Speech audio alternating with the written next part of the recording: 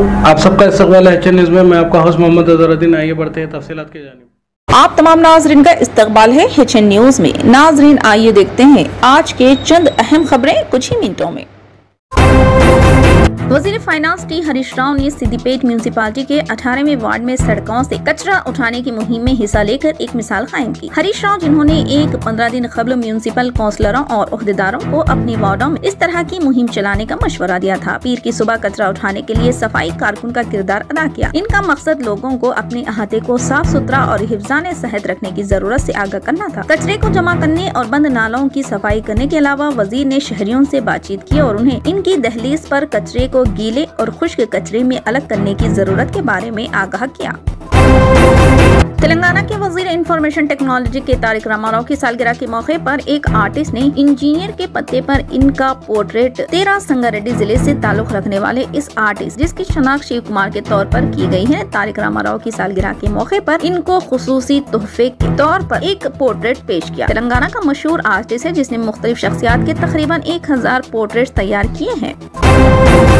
तेलंगाना के वज़ीर बिजली जगदीश रेड्डी ने कहा है कि यदाद्री भुवनगिर ज़िले मुस्तखिर में अंबेडकर भवन की तामीर के इकदाम किए जाएँगे। भुवनगिर बार एसोसिएशन के सदर इन अंजया की क्यादत में बुगला के एक वक्त ने वज़ीर जगदीश रेड्डी ऐसी मुलाकात की और अंबेडकर भवन की तामीर के सिलसिले में नुमाइंदगी की। इस मौके पर वज़ीर मौसूफ ने कहा कि बाबाए दस्तूर हिंद बाबा साहब अंबेडकर के नाम से भवन की तामीर के लिए मंजूर शुदा दो करोड़ के फंड्स में से तामीर जारी है। सी, गौतम भोपाल रेड्डी पीर को हुए इंतबात में बाबिखार सिकंदराबाद क्लब के सदर मुंतखब हुए। आठ राउंड की गिनती के बाद रात देर गए नतीजे का ऐलान किया गया। सी, भोपाल रेड्डी ने आठ सौ छियालीस वोट हासिल की अपने हरीफ वी, कृष्णा दास को शिकस्त दी। भोपाल रेड्डी को फ्यूरेट कहा जाता है, वो गिनती के पहले दौर ऐसी आगे रहे। गिनती शाम साढ़े बजे शुरू हुई और सवा ग्यारह बजे खत्म हुई। बारिश की वजह ऐसी मश्क दो घंटे ऐसी ज़्यादा ताखिर का शिकार हुई। बारिश के बावजूद अरकान गिनती के हर दौर के नतज का इंतज़ार करते रहे। दिल्ली के वज़ीर अला अरविंद केजरीवाल ने कहा कि इनकी हुकूमत दारकूमत के हर घर तक साफ़ पानी पहुँचाने के लिए मुख्तलिफ़ सतहों पर मिशन मोड में काम कर रही है और इस मकसद के लिए मुख्तलिफ़ जगहों पर R O A T M भी लगाए जा रहे हैं।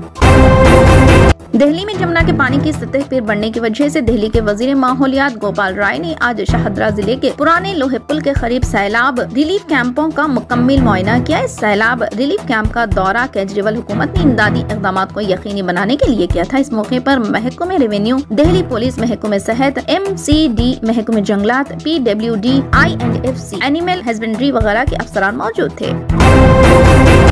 फ़िलहाल के लिए इस खबरनामे में बस इतना ही देखने के लिए आपका बहुत बहुत शुक्रिया। अगर आप नए हैं इस चैनल पर तो सब्सक्राइब ज़रूर कर लें और बेल आइकन को भी दबा लें ताकि हमारी मजीद और भी अपडेट्स आप तक पहले मिले।